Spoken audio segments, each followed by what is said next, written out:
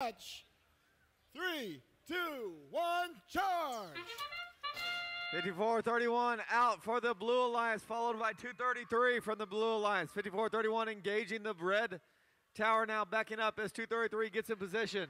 But the Red Alliance has a quick score from both 45, 87, and 118 under the teleoperated mechanism. Now, two minutes and 15 seconds of teleoperated activity.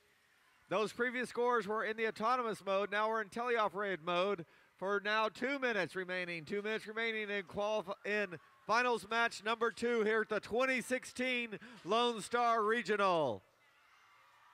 This could be it for the 2016 Lone Star Regional Robotics Competition as the Red, Alliance was up heavily in the first match. Blue Alliance needs to win to continue battling here as 57 the Leopards cross that obstacle and move into the courtyard. 54-31 is joined on 54-31. That is Titan Robotics out of Plano for the Blue Alliance with a good shot and a make.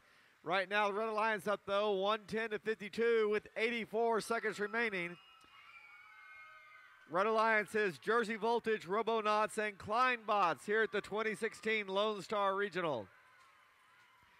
57, 54, 31, and 233, the pink team over there trying to battle it out for the Blue Alliance. They're facing an uphill battle now as we count down to one minute remaining. One minute remaining in finals match number two. 37 35 maybe stopped. 37 35. That is Kleinbot. Seems to be holding steady. 233 and 233 engaged with 118. Robonaut. That's the pink team versus Robonaut out of League City. 30 seconds remaining now as you hear the horn. 30 seconds remaining in final match number two. The red wins, they take the title. If the blue wins, we play again. Live scoring giving the advantage to the Red Alliance. As 118 tries to move 37 35, but they're not budging. They're up against that climbing wall. As 54 31 scores for the Blue Alliance. Count it down with me. Three, two, one.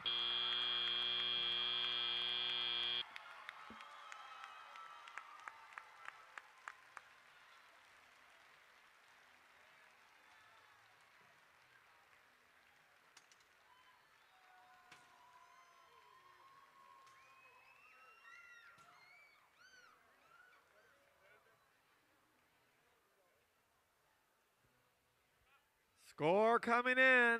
All clear from the referees. Taking the victory and the title, the Red Alliance. Red Alliance 170, Blue Alliance